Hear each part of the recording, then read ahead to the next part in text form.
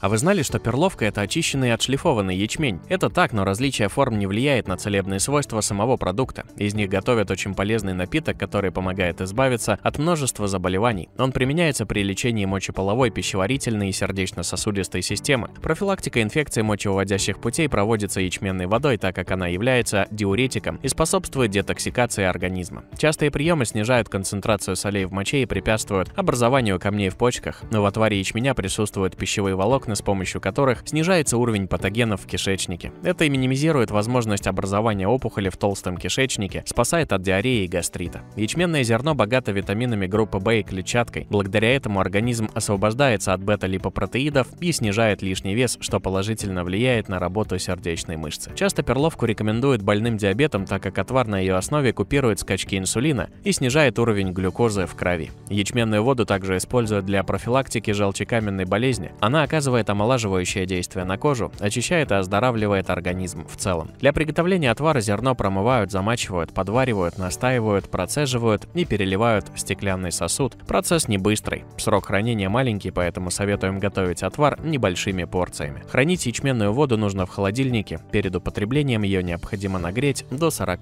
градусов.